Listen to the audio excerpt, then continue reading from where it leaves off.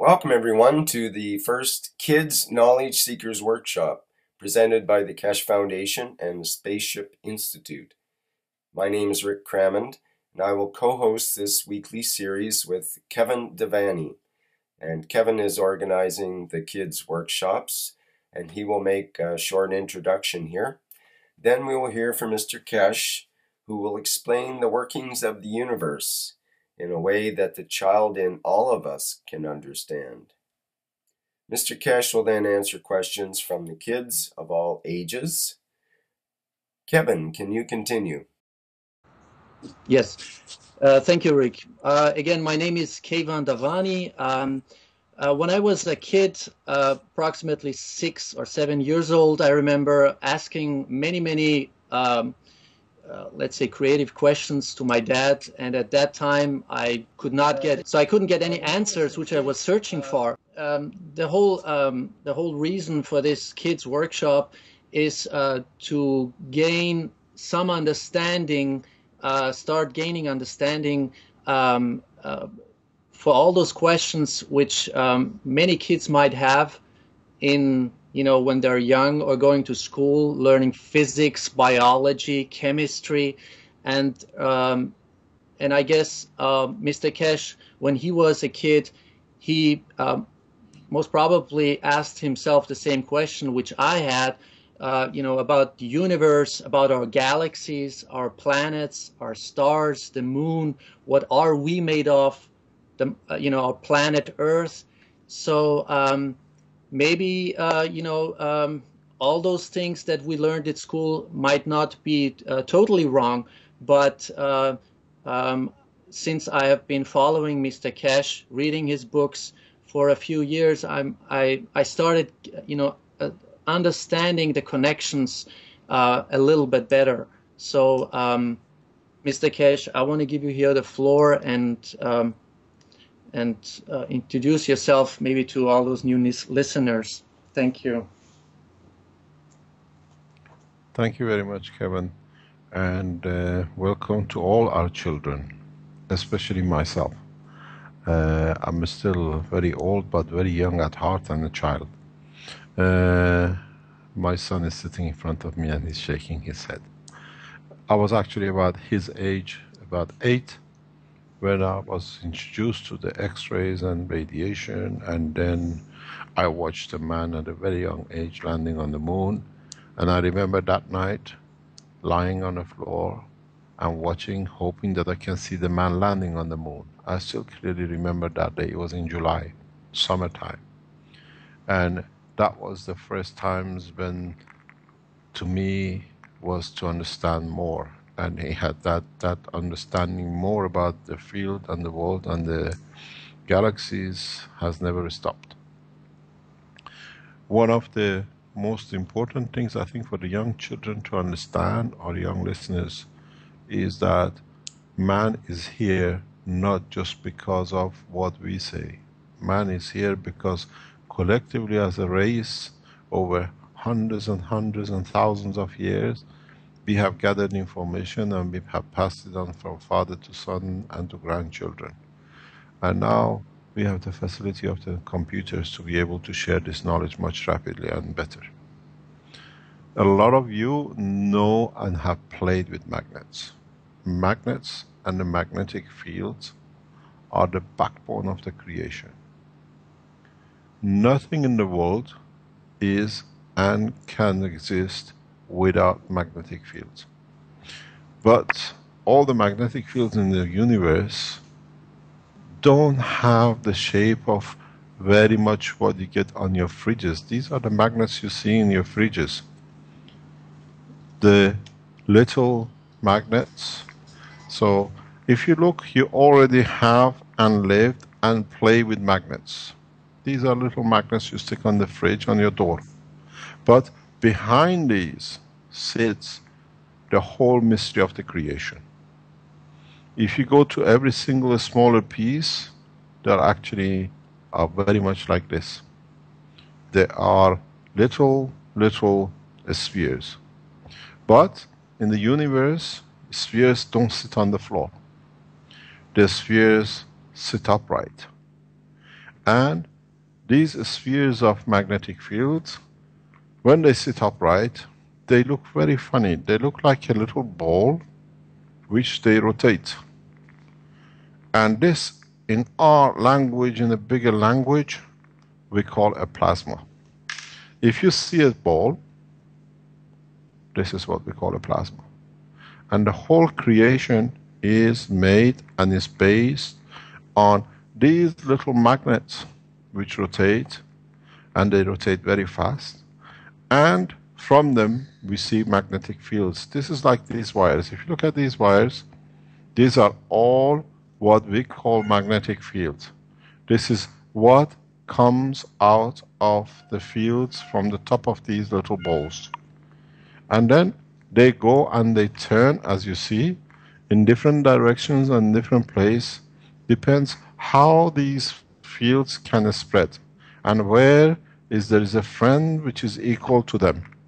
So if you look at these magnets you had, like the little fish, out of it is coming millions and millions of fields like this, which is looking for a mate, for a friend to play with or to join. And where it joins, then it sticks, and then we call it a magnet. In in very easy way, what it is, we want you to understand a simple thing. In the world, magnets, in the way your body, cells of your body are made, are not flat. They're always in the shape of a ball. And this is a huge departure from what we thought and we think in the past at least 100 years. So what we show you is that instead of going and showing you little magnets, magnetic fields, we start the process of teaching you from the beginning about the plasma. Because it's no use teaching you about the magnet, which is flat, and then saying the magnet rotates and become a ball. This is exactly the shape of a magnet, uh, magnetic fields, we call the plasma. And from it, one side, fields come up like this, and from the other side, the field go in like this. So, in fact, what goes in from one side has to come out of the other side. But, in the process in the middle, inside there are some more magnetic fields which can join the ones which are coming out. It's just like when you go in a tunnel. What goes in a tunnel when you go has to come out of the other end. But in this process we call it magnetic fields. These are the fields, the little strands you see. So these strands have to go somewhere and join something. And then when they join something is usually another plasma. So what you get? You get two plasmas. And the field from one has to go in the other one. So when you look at the overall between the two, you see a mesh like this. So even though you're looking at a, a sticker with a little girl on it here with a magnet on the fridge, a little fish or whatever, between them is loads of fields like this traveling from one to another and back. And this is what we call magnetic fields, where the rays come out. But in fact, individually, they are little balls. But the difference is that in a real life, a magnetic field from the ball can be seen when it comes out, it's like an egg. But we know inside the egg is very soft, is very gentle. And that's what's inside the magnet, inside the plasma. So when it becomes the shell, we see the plasma. When it's not the shell, it is in the shape of a very, very soft, very, very soft matter, what we call a soft plasma. So, if I break this egg, it'll go on the floor, on the table. But if I can gently take the shell out, which is done with this one, it's a bouncing ball. This is exactly what's inside this egg. So this is the difference between a, what we call a matter, which we can feel, and this is the skin of the egg taken off, and that's what we call a plasma. So this is how beautiful it is. you bring a lot of these bouncing balls, calling plasma, the fields join each other, and then now what do you have? A plasmas, which in small balls, all bouncing up and down, and the waves shaking like this, and now you see how beautiful plasma has become. This is millions and millions of these make your little nails, millions and billions of these make your little hearts. But when they join together, so you don't have a hard heart like this that you can, it's like an egg, you can hear it. It is a ball, a bouncing ball. And this ball bowls everywhere, jumps everywhere. And this is, if I break this side this, you see the white and the yolk. You can do this at home yourself. You can see the difference between a plasma and a matter. Matter is when it's hard. Plasma is when it's bouncy. What you can do at home yourself to see the difference between the matter and the plasma is get an egg, put it in a vinegar for three days, and you come and you see the magic. There is no shell. It's only a plasma left. And then, if you break the egg, you see the inside of the two is exactly the same. The first day when you break the uh, shell, when you get the shell moved with the vinegar, you will see the yolk. You will see everything inside. If you have, for example, a chick sitting on the egg for a few days, and you can take the shell away, you will see the little chick inside. So, in fact, if you can see through this, for example, through this ball, you can see a little dog. The little dog is in the plasma. I tried to show it to you if you can see it. So this is a plasma, you see, it's a ball, it's bouncing. So this is what the plasma is. The plasma is loads of magnetic fields which go round and around, make what we call a plasma, and then plasma has to come out. They cannot stay. So when they come out, they have to join the others. It's just like when you go out of the house, you go and play with your friends, then it's two friends and more. But to make a little nail or little toy, even to make this little magnet, needs millions and millions of these little balls joining together.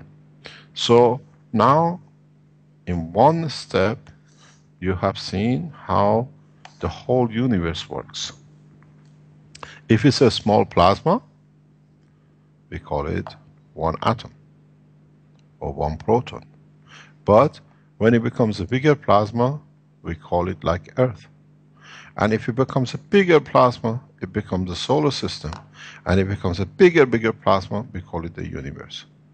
So, in a very simple way, if we can use this plasma, understand how it goes through these lines from one to another, and we can collect the motion of these, it's just like hundreds of you running down the road, then you can produce what is your dream or whatever you like to be.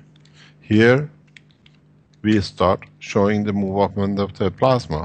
When we collect its energy, because it's running, it gets tired, we call it a light. You produce a torch. This torch, if you can see its light, is literally collection of hundreds and hundreds of these plasmas collected and then is charged in the battery. This is how we make physics fun. Physics is very simple. If you can understand it, the reality of it, I'm sure you'll find out that your teachers will learn from you. And then the simpler ways, the plasmas have to and always join each other. As I said, if you find a friend, you can join and play. If I show you these magnets, these are like the sphere, is you will see the magnets chase each other. The, the I'm trying to find a camera that you can see. I can move and that one moves if you can see it. It moves and it moves and it moves because whatever comes from one magnet, it has to go in the other one.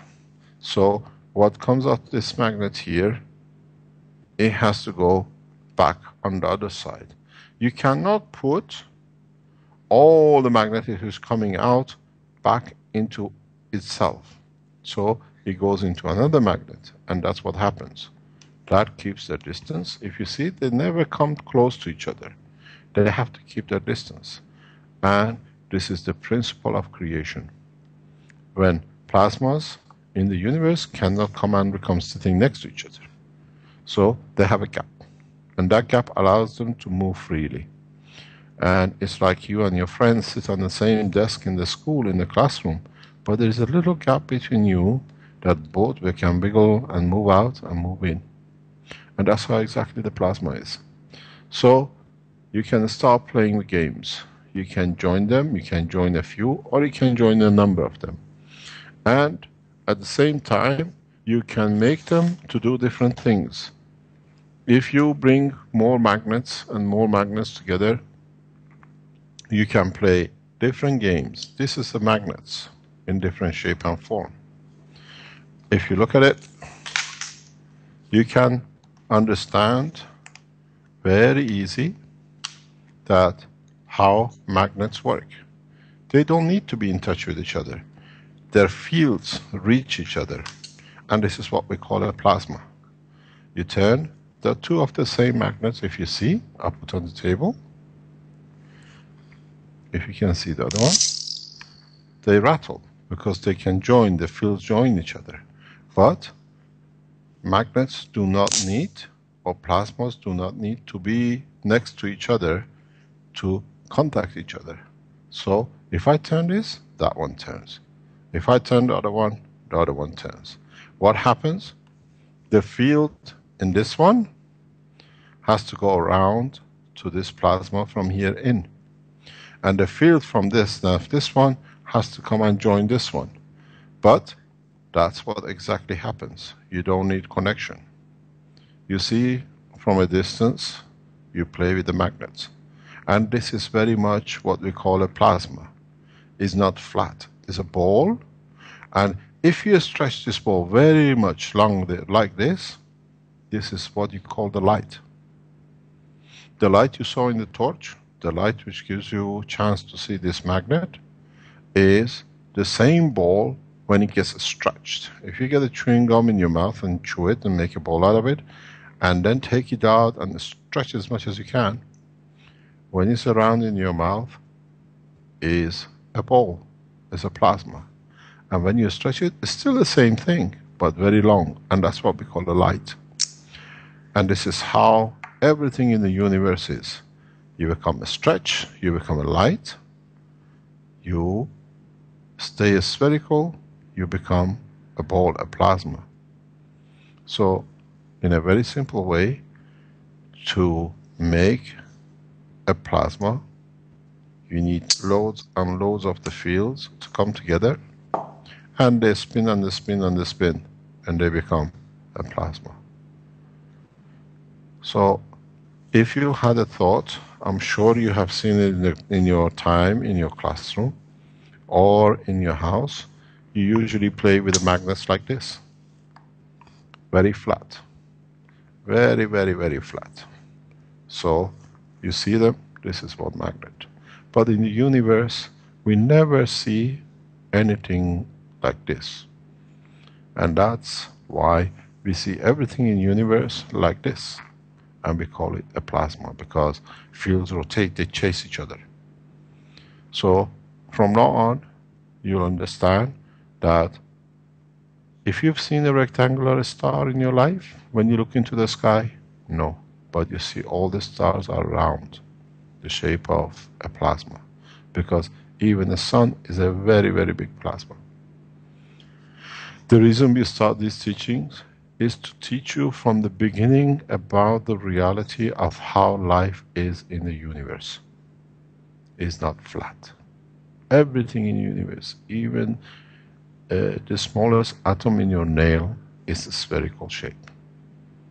The blood you carry in your body is made of millions and billions of spherical shapes, and how they interact with each other give you the color which you have. If you have a white shirt, the plasma in that shirt is what the other lights cannot be absorbed. If it's green, is some lights which cannot be absorbed, which the balance becomes green. But the light is very simple. The light is made in a very, very simple way. If you rub the two balls, the plasmas together, the plasmas have the fields which are going out and they have the fields which are going in. When you rub them together, when you rotate them next to each other, the ones which are going in crash with the ones which are coming out, the ones which are coming out crash with the other one which is going in from the other one, and it's exactly as you do with your hand. If you rub your hand, you see heat, and it gets warm. But you don't see, if you can make it very, very dark, you will see your hand will create light too.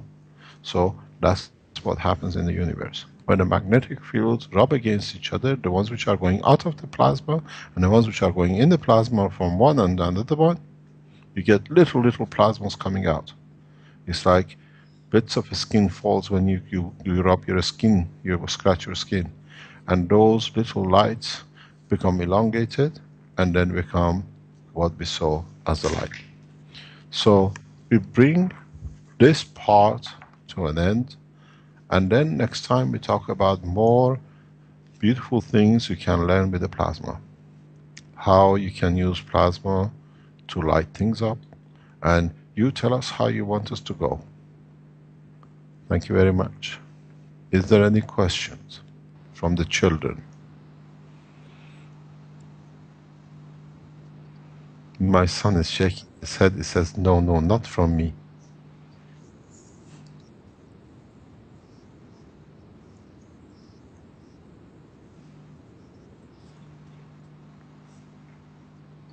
Uh, not now, thank you. We are rubbing our hands right now, just to. Was it a good explanation? Ask him. He says yes, Yeah, mine. What um, about yours? Uh, about the I- plasma, we didn't understand very well, uh, really the definition of the plasma. How can we The pla- explain the children Yes. what exactly is plasma? Plasma is a ball of magnetic fields which in the center do you- okay i tell you something because my son knows maybe children can explain. Come on you have to. I don't actually know what to okay you explain. this is your children and your time You explain in your you explain in your language what you understand the plasma and then we correct it Good evening. My name's Ruben. explain what the plasma is how what you understand from what is a plasma I know that a plasma is made by an energy field and little magnetic things inside it.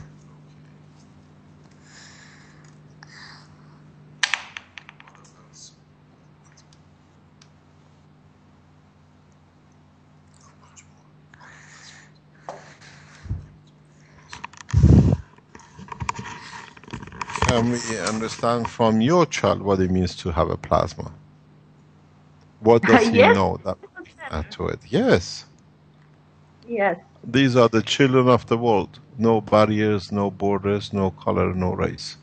They can teach Right. each other much simpler than we can. Let us see what he understands.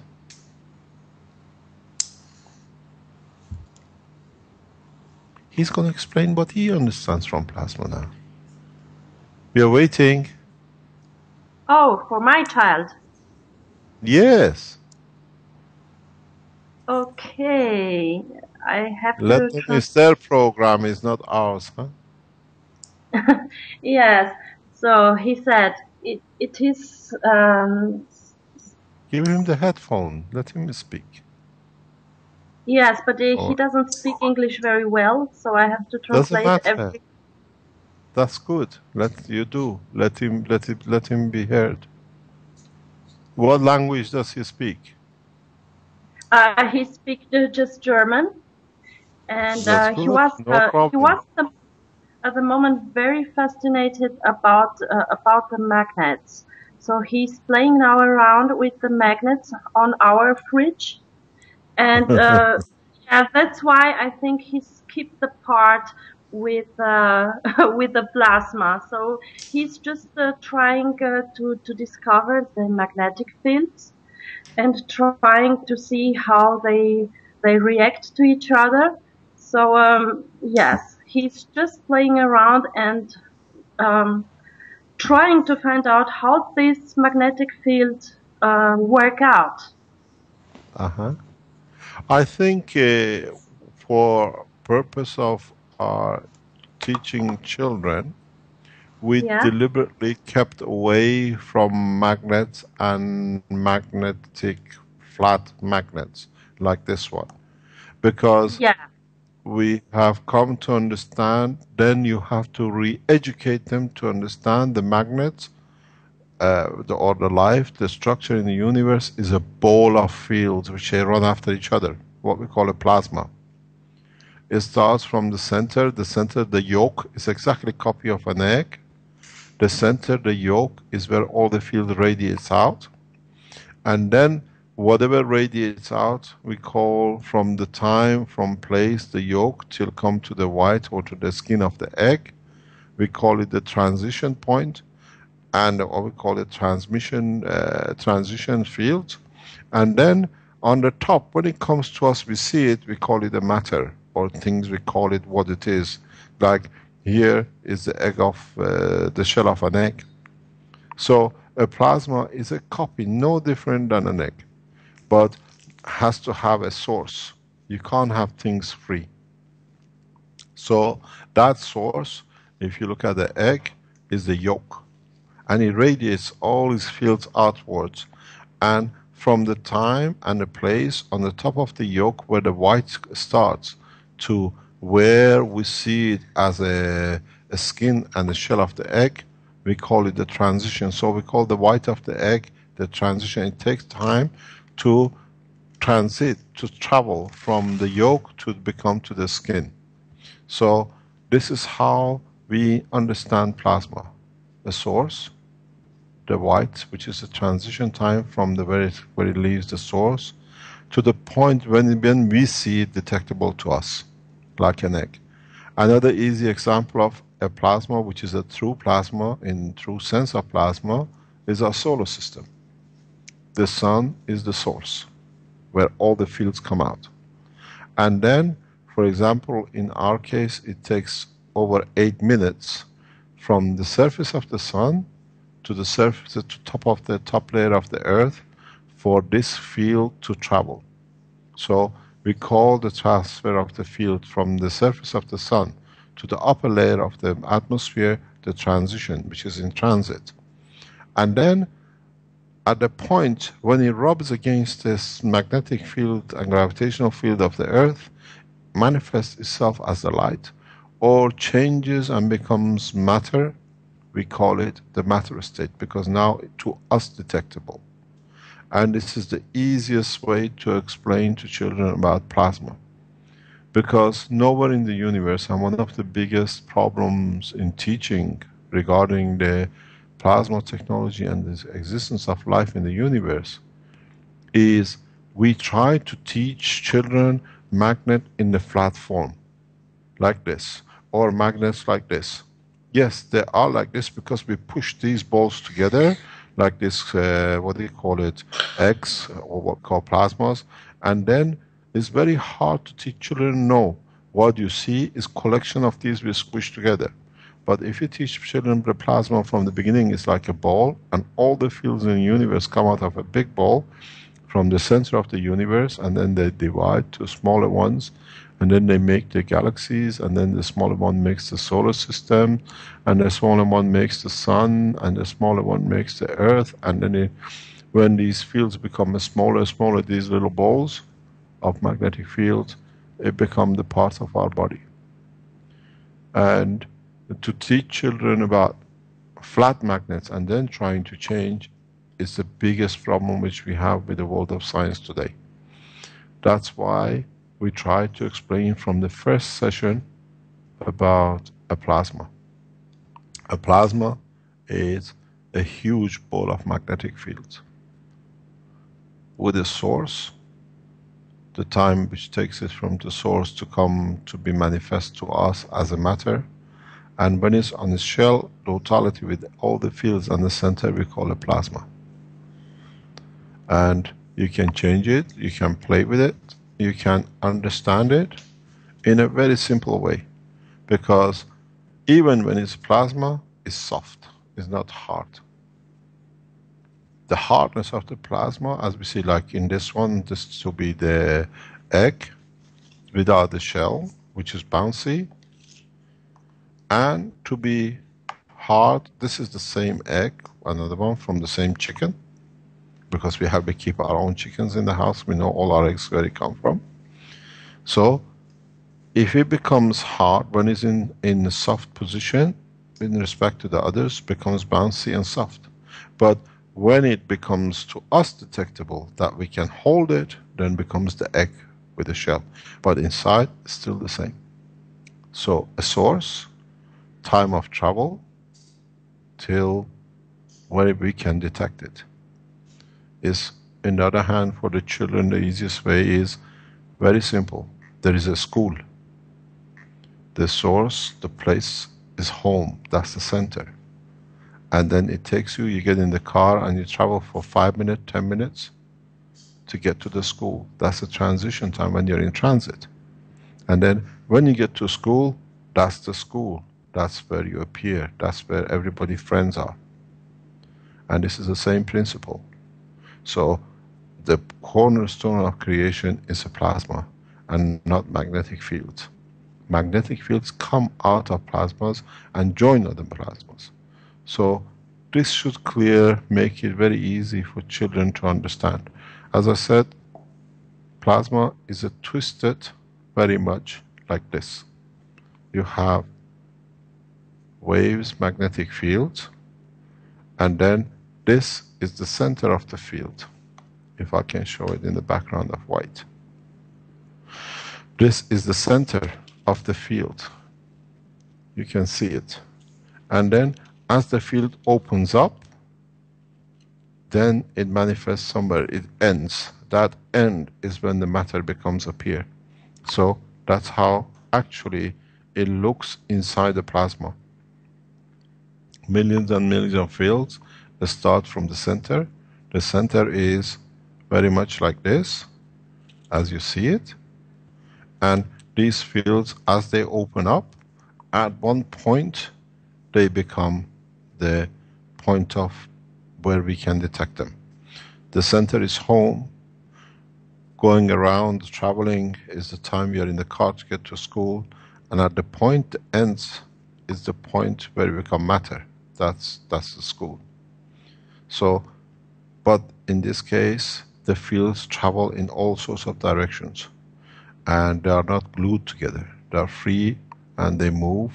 And if they attract each other, in the next program we'll talk, become gravity, and they repel each other, we call magnetical field or the atmosphere, which is for the next session.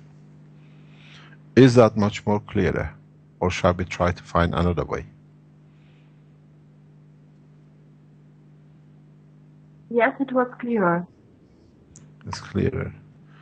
Thank yes, you very much. Is the, so my son now said uh, yes. he understood a little bit what exactly is plasma. Mm-hmm. Idea what it is. Mm-hmm. And? Uh, it is, of course, something that you, the children cannot really touch it, get in touch with it. So, um, yeah, it is something. Because play with yes.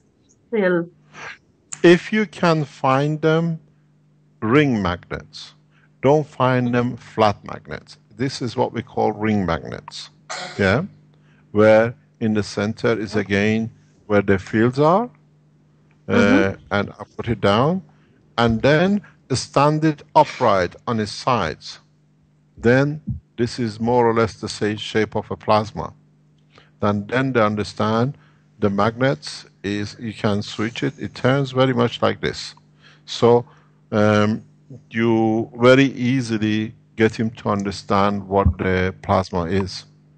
The problem, that's why I said we started the whole process, was not to show the field, the magnets are like this. These are magnets, you can see it, you can play with it, and it moves or jumps and it catches up. But in the universe, we don't see flat magnets. Everything is a plasma. And I think for the parents who try to teach children from the beginning, the, the, the, the new understanding in, uh, in, uh, in the creation is to get them the real from the beginning, introduce them to reality, not something that then they have to add up. It's a, it's a ring magnet. If you need them, if you can't get them, you can always send a link to us and we tell you where you can get it. Because when you're in that shape, you can see it. The magnet in my hand is about 20 centimeter away. You can see it. I move it and it moves. So it's in this shape, it doesn't move when it's flat. It just jumps. But when it's loose, when it's in a spherical shape, it turns. You see, I just move a little bit. Then you can see this is nearly 10 centimeters, 7 centimeters maybe. So it's good to teach children the fact and the reality about um, spherical shapes, which is the plasma. And it cannot be done with flat magnets, it cannot be done with, uh, with what I call very much circular magnets like this, because then they don't understand it if you can find ring magnets and give them slight ring magnets and let them play. And then, as long as they understand, it is very much, this is exactly the same as this. The egg and the magnet next to each other are exactly the same. In the center of the egg is the yolk, the source. In the center of this ring is the center of the magnetic field. And when it travels from this center to here is the time which the field transfers and transits. And when it is in the matter state, it appears as the ring. So it's the same process as the egg. In the center you have the yolk. There is a gap between the yolk and where it comes to you as an egg. This is a transition. And when it's a solid is the matter state because in the ring you cannot explain in a flat magnet like this you cannot explain it. And if the children understand this from the beginning that inside what it is then you find out the teaching and understanding for the generation which is going to be what I call the space generation. Then they think they live the way the universe works. And as we see with the adults who've been brought up with the ethos of a magnet to be flat, as most of our professors and the doctors and the university graduates, now we have a problem to teach them actually the plasma is this shape, it behaves this way, and we see a lot of resistance from the educated people because now they have believed and they have lived with a false information which they have to defend, otherwise they question their own integrity of their own knowledge. And this is one of the problems we see with a lot of, a lot of plasma physicists. The top physicists at the moment and in magnetic field have a problem to accept the reality that the uh, whole thing as a ball, a sphere, this is how it exists. And the ones who grasp it, especially at a young age, then you find out teaching becomes very easy. And then it's so logical that they can teach their own teachers in a simple way. As uh, a professor said in the lecture I gave in the university, when the students were present, he said, I cannot tell you a lie, you heard the whole thing like me, I just learned from the beginning myself. And he's a professor in physics. So uh, this is the reason I didn't introduce any flat magnets or to show magnetic fields. And we start from the beginning with plasma, which is the origin of the essence of the creation. Then the first few minutes is very hard because they are used to the magnets in this shape. And then they understand all they need to know is to stand it up and then rotate it. Then you see the real plasma because for a magnet to stick to the fridge, the fields have to come out and some fields have to go in. And then, but it's dynamic. So in fact, the field of this matter is about this shape. And if in, in, in so many ways, if I take the center out, this is like a love sign, it's a heart. But the center sits in the middle. And then it radiates and it comes to the end and you can see it. So um, the whole purpose of the teachings with the Keshe Foundation, starting from last week, has been for seven months. We've been talking and trying to teach uh, people around the world about the plasma. And they cannot understand it because the teaching has been on the basis of a flat magnet. Now, trying to get them to think a magnet to be spherical in shape it's been a battle for us for seven months. So we decided we teach the children from the beginning. In the future, when they want to play with a flat magnet, there is no problem. Because we, as I said, we never seen a, what do you call it, a flat star. We never see a flat planet.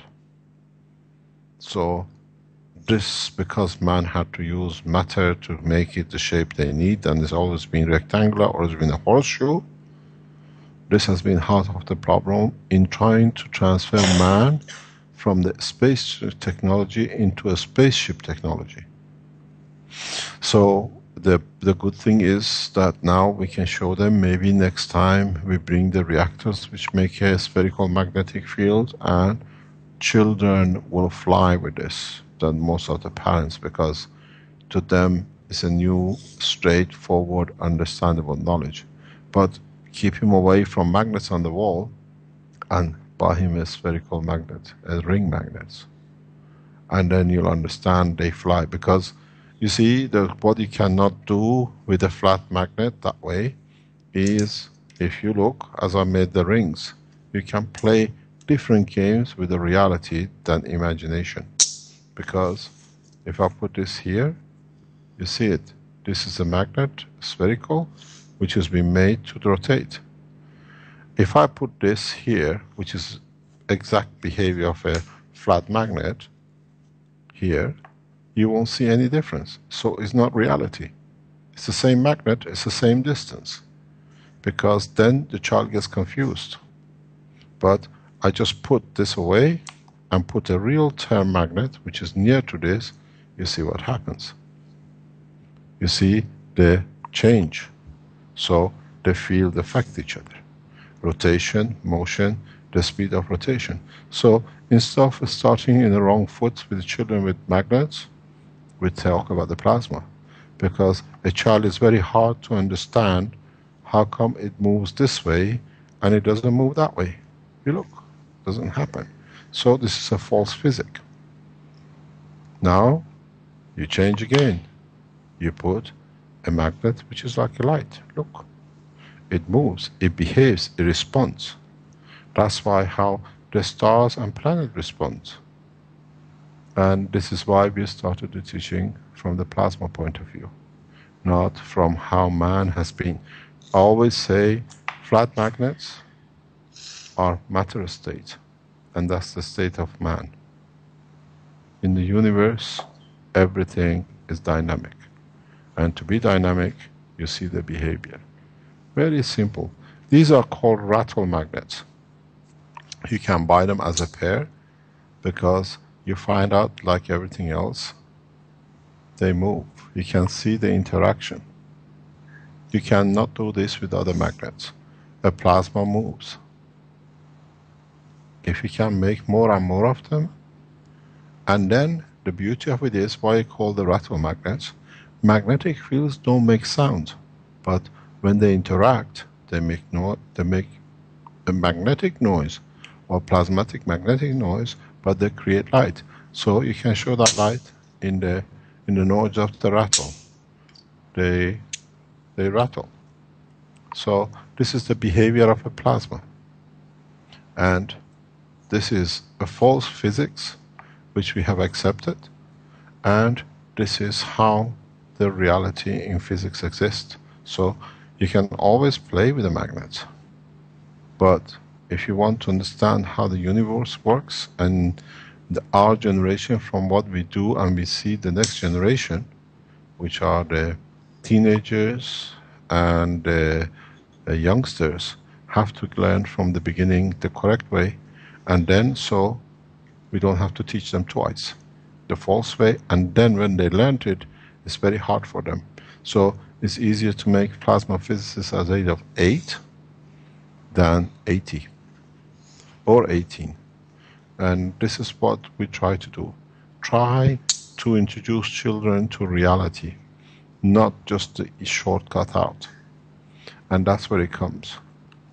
In the universe a plasma is a source which comes out.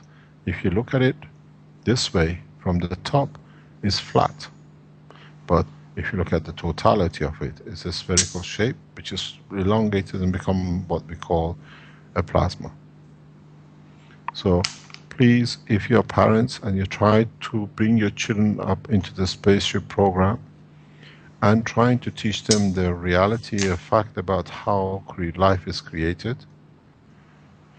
To me, as a scientist who works at this level, when you teach your children this magnet, is not very far from the time when the man said the earth was flat and the center of the universe. The magnet, this is what we have to walk away from now that we see, we understand plasma, is to show the children the reality of what it is. You see, the two magnets are next to each other. From the flat one, you get no reaction by moving the other one. Unless it gets attracted and it gets stuck. It doesn't rotate just because you move another magnet. So this is what happens. A plasma reacts to another plasma because it's dynamic. Here is flat. This is exactly what we said. These kind of magnets, when you start teaching physics about the creation, about the space technology, create a lot of dilemmas for the children in the future. So it's better to start from the beginning with the near enough reality they can see, and then you'll find out they become geniuses in space without us doing much work. Any questions? These are called rattle, rattle uh, magnets, you can buy them. These are called ring magnets. And these are called flat magnets. And they all behave totally different. Any questions? To the time. Yeah. That's, we are about there. Yeah, I think yeah, we can. Sorry about that.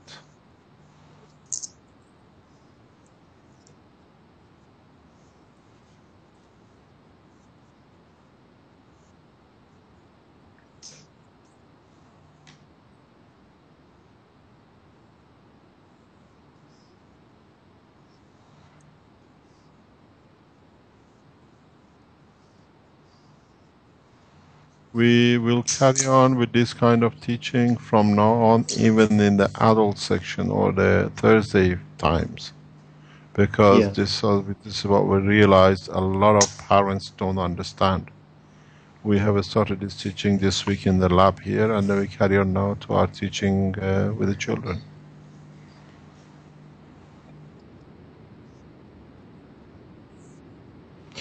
Uh, no, actually, it clarifies uh, for the beginning, uh, as if I were a kid, a lot of things to me. Um, maybe uh, there's some time for uh, next time. For uh, I have a couple of questions, which it's uh, you know at that time when I was a kid, because I learned from you, Mr. Keshe, you know, from your books that there there is no or was no such thing as a Big Bang. so maybe we could go into you know into detail next time what because you always talking about the source and about this universe and now i've learned that there's not only one universe but more than one universes so um, yeah. that would be a great yeah. thing if we could go, go into detail because this is a question that always has been fascinating me as a kid what's the real source? If everything is plasma, what is the real source of all universes then? We'll talk about it next time. Thank you. Thank you very much. Is there any questions from the bigger children or the smaller children? Um, no, no for our part. Thank you. Thank you for for the speech. It was really very interesting for all of us, I think. Thank you very much. I hope we get more children, adult children to listen to and maybe this even makes it easier for us for adult sessions. Right. Uh, thank you very thank much you. indeed. Thank you for your time. Thank you. Thank you. Thank you, Mr. Keshe, and to all the other participants. Thank you. Thank you. Bye-bye. Bye-bye. Bye. Laura, thank you. Thank you very much indeed. Goodbye thank and you. all the best with the new life. Bye-bye. Bye. Bye.